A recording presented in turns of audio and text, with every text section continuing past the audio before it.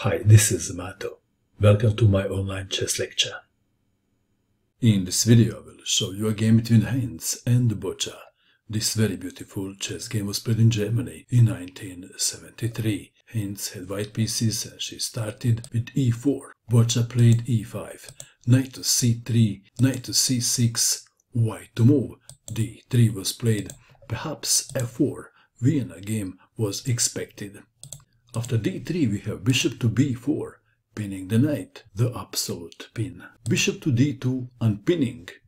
Knight to f6 and f4 now. Pawn takes pawn on f4. Knight to f3 and the castled the king's side. Bishop to e2, rook to e8, aligning the rook with the white king.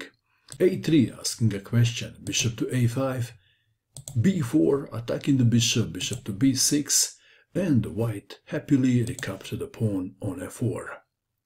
White would love to castle next, but this is not possible straight away, so perhaps knight to a4 and knight takes bishop on b6 is on the menu. Play with the black pieces, do not waste any time. d5, striking in the center. This is what you want to do when your opponent did a castle. White to move. Bishop to g5 was played.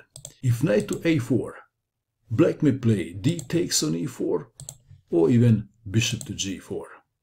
So, player with the white pieces played bishop to g5. This is a pin, a relative pin. White is moving the same piece for the third time. Is it bad? d takes on e4. Knight takes on e4. There is lots of pressure on the black knight on f6. Knight to d4. c3 attacking the knight. What would you do? Please pause and find the best move for black. What did you find? The knight on d4 didn't move. There was a surprise of epic proportions. And the move is knight takes pawn on e4, sacrificing the queen. What a shocker. Bishop takes queen on d8. For a millisecond, Bishop was feeling like Messi after scoring a goal, but only for a millisecond. Black to move. What was the idea behind the queen sacrifice? How would you continue? Play with the black pieces continued with Knight takes on f3 check. G takes on f3. Black played the move and white resigned. Believe it or not. The move is